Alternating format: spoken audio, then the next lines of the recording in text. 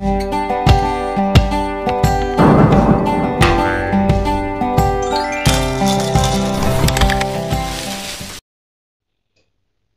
എല്ലാവർക്കും നമസ്കാരം. Food and ക്രാഫ്റ്റിലേക്ക് സ്വാഗതം. ഇന്ന് ഞാൻ വന്നിട്ടുള്ളത് നല്ലൊരു ക്രാഫ്റ്റ് ഐഡിയ ആയിട്ടാണ്. അപ്പോൾ ഇന്ന് ഞാൻ ചെയ്യുന്നത് ഈ ഒരു കാടമുട്ടയുടെ ആ ഒരു തോടില്ലേ അത് വെച്ചിട്ടുള്ള നല്ലൊരു ക്രാഫ്റ്റ് ആണ് കേട്ടോ അപ്പോൾ നമ്മൾ ഇന്ന് പെയിന്റ് യൂസ് ചെയ്യാണ്ടാണ് ചെയ്യുന്നത്. അപ്പോൾ പെയിന്റ് ഇല്ലാത്ത ക്രാഫ്റ്റ് ചെയ്യാനായിട്ട് കുറേ പേരായിട്ട് പറയുന്നതാണ്. അപ്പോൾ അതും കൂടെ വിചാരിച്ചിട്ട് ഞാൻ പെയിന്റ് ഇല്ലാണ്ടാണ് ചെയ്യണത് കേട്ടോ അപ്പോൾ കാടമുട്ടയ്ക്ക് പകരം നിങ്ങൾക്ക് വേണമെങ്കിൽ നമ്മുടെ സാധാരണ മുട്ട വെച്ചിട്ടും ഇത് ചെയ്യാം. അപ്പോൾ എന്തായാലും നിങ്ങളിത് കണ്ടു നോക്കൂ. എന്നിട്ട് അഭിപ്രായം പറയാൻ മറക്കരുത് കേട്ടോ അപ്പോൾ ഇന്നത്തെ വീഡിയോ തുടങ്ങാം. ഇതിപ്പോൾ ഞാൻ ഇതുപോലെ കുറച്ച് കാടമുട്ടയുടെ തോട് എടുത്തിട്ടുണ്ട് കഴുകി വൃത്തിയാക്കിയിട്ട്. അപ്പോൾ ഞാൻ ആക്ച്വലി ഇന്ന് ഇങ്ങനെ ഒരു ക്രാഫ്റ്റ് ചെയ്യാനൊന്നും ഉദ്ദേശിച്ചതല്ല. അപ്പോൾ ആ ഒരു ഉച്ച സമയത്ത് ഇത് കാടമുട്ട ഇങ്ങനെ പൊട്ടിക്കുന്ന സമയത്ത് എനിക്ക് പെട്ടെന്ന് മനസ്സിലേക്ക് വന്നൊരു ഐഡിയ ആണ്. അപ്പോൾ എന്തായാലും ഇത് ചെയ്ത് നോക്കാമെന്ന് വിചാരിച്ചു. അപ്പോൾ ഇങ്ങനെ നിങ്ങൾ ചെയ്യുന്നുണ്ടെങ്കിൽ അത് പൊട്ടിക്കുമ്പോൾ കുറച്ച് മാത്രം പൊട്ടിച്ചിട്ട് അതിന്റെ ഉള്ളിലത്തെ ആ ഒരു മുട്ടേന്റെ ഫ്ലഷൊക്കെ എടുക്കുക കേട്ടോ അതിനുശേഷം നന്നായിട്ടൊന്ന് കഴുകി വൃത്തിയാക്കി ഒന്ന് ഡ്രൈ ആക്കി എടുക്കുക. ഇനിയിപ്പോൾ ഈ ഒരു ക്രാഫ്റ്റ് ചെയ്യാനായിട്ട് ഞാൻ ഇതുപോലത്തെ കളർ പേപ്പറാണ് എടുത്തിട്ടുള്ളത്. അപ്പോൾ ഞാൻ റെഡാണ് എടുത്തിട്ടുള്ളത്. ഒരു മൂന്ന് സെന്റിമീറ്റർ ഒക്കെ വീതിക്ക് അപ്പോൾ ഒരു ഏകദേശം ഞാൻ പറഞ്ഞു എന്നേ ഉള്ളൂ നിങ്ങൾക്ക് അറിയാൻ വേണ്ടിയിട്ട്. അങ്ങനെ ആ ഒരു വീതി നോക്കിയിട്ട് ഒരു സ്ട്രിപ്പ് കട്ട് ചെയ്യുക നീളത്തിൽ. എന്നിട്ട് ചെറുതായിട്ട് അങ്ങോട്ടും ഇങ്ങോട്ടും ഒന്ന് മടക്കുക. എന്നിട്ടൊരു ഫെദറിന്റെ ഷേപ്പ് പോലെ നമ്മൾ പെൻസിൽ വെച്ച് വരച്ചെടുക്കുക. അതിനുശേഷം അതൊന്ന് കട്ട് ചെയ്തെടുക്കണം.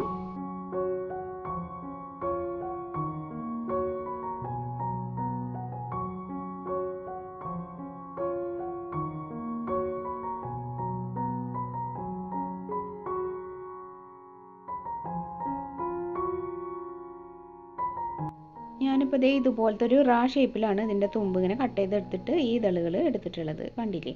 ഇനി ഒരു ബ്രഷിന്റെ ബാക്ക് സൈഡ് വെച്ച് ചെറുതായിട്ട് ഒന്നിങ്ങനെ ചുരുട്ടി കൊടുക്കുക. അപ്പോൾ ഒന്ന് വളഞ്ഞ് നിൽക്കുമല്ലോ എന്നിട്ട് അങ്ങനെ എല്ലാം ചെയ്തെടുക്കുക.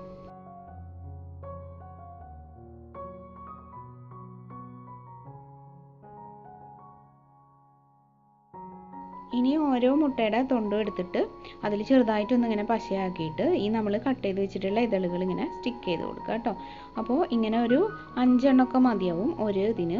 അപ്പോൾ കുറച്ചൊന്ന് മറ്റേ ഇതളിന്റെ മുകളിൽ കൂടെ ആക്കിയിട്ട് അടുത്തത് ഒട്ടിക്കുക. അങ്ങനെ കണ്ടില്ലേ? ആ ഒരു സ്പേസും അതുപോലെ തന്നെ ഹൈറ്റൊക്കെ നിങ്ങൾ നോക്കിയിട്ട് അഡ്ജസ്റ്റ് ചെയ്തിട്ട് ഇങ്ങനെ ഒട്ടിച്ചു കൊടുത്താൽ മതി കേട്ടോ. ഇത് ഫുള്ളായിട്ട് നമുക്ക് ഒട്ടിക്കാം.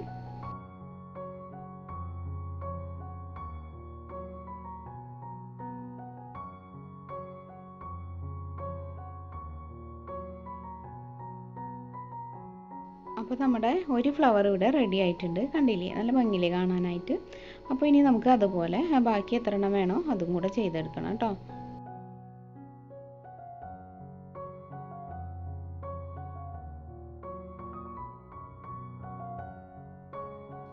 ഇപ്പോൾ ഇതേ അടുത്ത ഫ്ലവറും ഇവിടെ റെഡി ആയിട്ടുണ്ട്. അപ്പോൾ നമ്മൾ സൂക്ഷിക്കുക. താഴെ വീണ് പൊട്ടാണ്ടൊക്കെ ഇരിക്കാനായിട്ട് കേട്ടോ. ഇനിയിപ്പോൾ ഇതിന്റെ ഒരു സ്റ്റെമ്മിന് വേണ്ടിയിട്ട് ഞാനിപ്പോൾ ഒരു ഉണങ്ങിയിട്ടുള്ള മരക്കമ്പാണ് എടുത്തിട്ടുള്ളത്. അപ്പോൾ ഇതിന് പകരം നിങ്ങൾക്ക് പേപ്പർ സ്റ്റിക്ക് വേണമെങ്കിൽ അത് ചെയ്യാം കേട്ടോ ഞാനിപ്പോൾ എളുപ്പത്തിന് വേണ്ടിയിട്ട് ഇങ്ങനെ എടുത്തുന്നേ ഉള്ളൂ അതിൽ ഞാനിപ്പോൾ ഈ ഫ്ലോറൽ ടേപ്പ് ചുറ്റി കൊടുക്കുകയാണ് അപ്പോൾ ഫ്ലവർ മേക്കിങ്ങിനൊക്കെ ഉപയോഗിക്കുന്നതാണ് ഈ ഒരു ടേപ്പ് ക്രാഫ്റ്റ് മെറ്റീരിയൽസ് വാങ്ങുന്ന ഷോപ്പിലൊക്കെ നമുക്ക് വാങ്ങിക്കാൻ കിട്ടും. അപ്പോൾ ഗമ്മുള്ളതുകൊണ്ട് തന്നെ ഈസി ആയിട്ട് ചുറ്റിയെടുക്കാനും പറ്റും. ഇനി ഞാൻ ചെറിയൊരു വേസ്റ്റ് തുണിയുടെ പീസ് എടുത്തിട്ടുണ്ട്. അതിൽ നിന്നൊരു ചെറിയ പീസ് എടുക്കുകയാണ് കേട്ടോ. ഇതിന്റെ ഉള്ളിലേക്ക് ഒന്നാക്കി കൊടുക്കാനാണ് ചെറിയൊരു വെയിറ്റൊക്കെ കിട്ടാനായിട്ട്. അപ്പോൾ അതിന്റെ തുമ്പത്ത് ലേശം പശയാക്കിയിട്ട് ഇങ്ങനെ അതിന്റെ ഉള്ളിലേക്ക് ആക്കി കൊടുക്കുക. ചെറിയൊരു പീസ് മതി കണ്ടോ?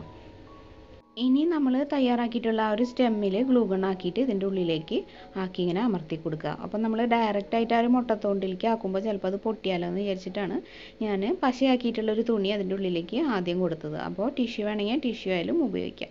ഇപ്പോൾ ഒരു സ്ട്രോങ് ആയിട്ട് ഇതിങ്ങനെ ഫിക്സ് ആയിട്ട് ഇരിക്കുന്നുണ്ട്. ഇനി ഞാൻ ഇതുപോലെ ഒരു ഫോം ഷീറ്റ് എടുത്തിട്ടുണ്ട്.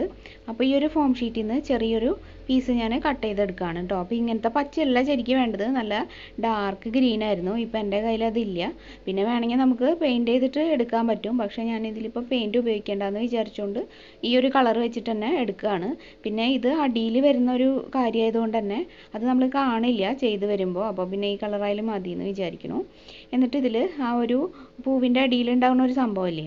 അതാണ് ഞാൻ ഉദ്ദേശിക്കുന്നത്. അത് ഈ ഒരു ഷേപ്പിൽ ഇങ്ങനെ ഈ ഒരു ഫോം ഷീറ്റ് കട്ട് ചെയ്ത് എടുക്കുകയാണ് ഷേപ്പ് ഇപ്പോൾ നിങ്ങൾക്ക് കാണുമ്പോൾ മനസ്സിലാവുണ്ടാവും പിന്നെ അതിന്റെ നടുവിൽ ഞാനൊരു ഹോൾ ഇട്ട് കൊടുത്തിട്ടുണ്ട് കേട്ടോ അപ്പോൾ ഇങ്ങനത്തെ ഫോം ഷീറ്റ് ഇല്ലെങ്കിൽ ഇത്തിരി കട്ടിയുള്ള ഒരു കടലാസ് ഗ്രീൻ കളറിലുള്ളത് അല്ലെങ്കിൽ കളർ ചെയ്തെടുക്കുകയെ അങ്ങനെ ചെയ്താലും മതി. എന്നിട്ട് ഇങ്ങനെ കട്ട് ചെയ്തെടുക്കുക ഇത് അതിന്റെ ആ ഒരു കമ്പിന്റെ ഉള്ളിൽ കൂടെ ഞാൻ കടത്തിയിട്ട് ഇതിന്റെ ബാക്കിലേക്ക് ഇങ്ങനെ വെച്ച് കൊടുക്കുകയാണ്. എന്നിട്ടൊന്ന് ഇങ്ങനെ പ്രസ്സായിട്ട് ഇരിക്കാൻ വേണ്ടിയിട്ട് ഒന്ന് അമർന്നിരിക്കാൻ വേണ്ടി കുറച്ച് ഗമ്മാക്കിയിട്ട് ഇങ്ങനെ ആ ഒരു പൂവിനോട് ചേർത്ത് ഒട്ടിക്കുകയാണ്. അല്ലെങ്കിൽ നമുക്ക് ആ ഒരു ബാക്കിലത്തെ ഹോൾ കാണില്ലേ?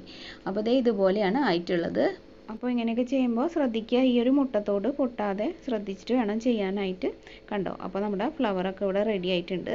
അപ്പോൾ ഞാൻ ലീഫ് എന്റെ കയ്യിലുള്ള പഴയ ഒരു ലീഫാണ് വെച്ച് കൊടുക്കുന്നത്. അപ്പോൾ നിങ്ങൾക്ക് സാധാരണ ഒറിജിനൽ ആയിട്ടുള്ള ലീഫില്ലേ നമ്മുടെ സപ്പോട്ടേന്റെ ഇലയോ അങ്ങനെ എന്തെങ്കിലും നല്ലൊരു ഒരുവിധം കട്ടിയുള്ളൊരു സാധാരണ ഒറിജിനൽ ലീഫ് കുറച്ച് ഡ്രൈ ചെയ്തെടുത്തിട്ട് കളർ ചെയ്തെടുത്താൽ മതി.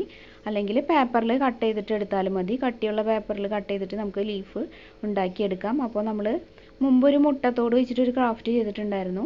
അപ്പോൾ അതിലൊക്കെ നമ്മൾ ചെയ്തിട്ടുണ്ട് അത്. അപ്പോൾ നിങ്ങൾക്ക് വേണമെങ്കിൽ ഡിസ്ക്രിപ്ഷനിൽ ഞാൻ ലിങ്ക് കൊടുക്കാം. അത് കണ്ടാൽ മതി കേട്ടോ അല്ലെങ്കിൽ സാധാരണ ഒറിജിനൽ ലീഫ് കുറച്ച് ഉണങ്ങിയത് എടുത്തിട്ട് കളർ ചെയ്തെടുക്കുക എന്നിട്ട് അതിങ്ങനെ വെച്ച് കൊടുക്കുക. അപ്പോൾ ഞാനിപ്പോൾ അതേ ഈ ഒരു പഴയ ലീഫ് ജസ്റ്റ് ഒന്ന് അറ്റാച്ച് ചെയ്യുന്നുണ്ട്. ഒരു അഡ്ജസ്റ്റ്മെന്റിൽ അങ്ങനെ ഇരിക്കട്ടെ. അപ്പോൾ ആ ഒരു ടേപ്പ് ചുറ്റിയിട്ട് തന്നെയാണ് ഞാനിത് സെറ്റാക്കിയത് ഈ ഒരു പുല്ല് പോലെയുള്ളതും എന്റെ കയ്യിൽ പണ്ട് ഉണ്ടായിരുന്നത് തന്നെയാണ്. അപ്പോൾ ഇതുപോലെ നമുക്ക് പേപ്പറിൽ കട്ട് ചെയ്തെടുത്തിട്ട് കളർ ചെയ്തെടുക്കാവുന്നതേ ഉള്ളൂ. അപ്പോൾ സിമ്പിളായിട്ട് നല്ല ഭംഗിയിൽ തന്നെ സെറ്റ് ചെയ്ത് എടുക്കാൻ പറ്റും കേട്ടോ കണ്ടോ അപ്പോൾ ഇതൊക്കെ വെക്കുമ്പോഴാണ് കുറച്ചും കൂടെ ഒരു ഭംഗി വരുന്നത്. ഇതിലിപ്പോൾ ഫ്ലവറിന്റെ പരിപാടിയൊക്കെ ഏകദേശം കഴിഞ്ഞിട്ടുണ്ട് കണ്ടോ? ഇതിലിപ്പോൾ ആ ഒരു ഫ്ലവറിന്റെ അടിഭാഗത്തുള്ള സംഭവം മാത്രമാണ് വേറെ ഒരു ഗ്രീൻ ആയിട്ട് നിൽക്കുന്നത്.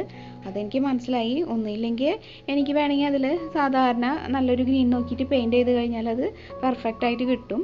പിന്നെ ഞാനിപ്പോൾ ഇതിൽ പെയിന്റ് ഉപയോഗിക്കുന്നില്ല എന്ന് പറഞ്ഞുകൊണ്ട് അത് അങ്ങനെ തന്നെ ഇരിക്കട്ടെ. പിന്നെ അത് ഇങ്ങനെ ഒരുമിച്ച് ഇലയൊക്കെ വെച്ച് സെറ്റ് ചെയ്ത് ഇരിക്കുമ്പോൾ അത് പെട്ടെന്ന് അറിയുന്നൊന്നുമില്ല. അപ്പോൾ ഇങ്ങനെ നിങ്ങൾക്ക് കാണിക്കുമ്പോഴാണ് അത് കൂടുതൽ അറിയുന്നത്. അടിയിലാണല്ലോ അത് അപ്പോൾ വേണമെങ്കിൽ അതിന്റെ വലിപ്പവും ഒന്ന് കുറച്ചുകൂടെ കുറയ്ക്കണമെങ്കിൽ അങ്ങനെയും ചെയ്യാം. അപ്പോൾ നിങ്ങൾ ചെയ്യുമ്പോൾ കറക്റ്റ് ആയിട്ടുള്ള ഗ്രീൻ തന്നെ എടുക്കാൻ നോക്കുക. അല്ലെങ്കിൽ പെയിന്റ് ചെയ്ത് കറക്റ്റാക്കി എടുക്കുക കേട്ടോ. അപ്പോഴേ അതിന്റെ ഒരു പെർഫെക്ഷൻ വരുള്ളൂ. അതുപോലെ ആ ഒരു കാടമുട്ടയുടെ തോടിന് വേണമെങ്കിൽ വേറെ കളറൊക്കെ കൊടുക്കാം. അല്ലെങ്കിൽ ആ ഒരു ഡോട്ട്സ് തന്നെ കുറച്ചുകൂടെ എണ്ണ ഇട്ട് കൊടുക്കാം. അതൊക്കെ നിങ്ങളുടെ ഇഷ്ടമാണ്. പിന്നെ ഞാനിത് എന്തായാലും പെയിന്റ് ഉപയോഗിക്കുന്നില്ല എന്ന് വിചാരിച്ചുകൊണ്ട് അപ്പോൾ പെയിന്റ് ഇല്ലാണ്ട് ക്രാഫ്റ്റ് ചെയ്യാൻ പറഞ്ഞവർക്ക് വേണ്ടിയിട്ട് ഇങ്ങനെ അഡ്ജസ്റ്റ്മെന്റിൽ അങ്ങ് ചെയ്തതാണ് കേട്ടോ. അപ്പോൾ നിങ്ങൾ ചെയ്യുമ്പോൾ കുറച്ചുകൂടി പെർഫെക്ഷനിൽ ചെയ്യാൻ നോക്കുക.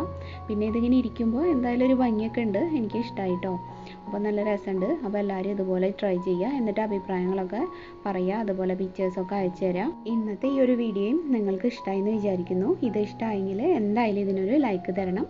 ഇത് നിങ്ങളുടെ ഫ്രണ്ട്സും റിലേറ്റീവ്സും ഒക്കെ ആയിട്ടൊന്ന് ഷെയർ ചെയ്യുക.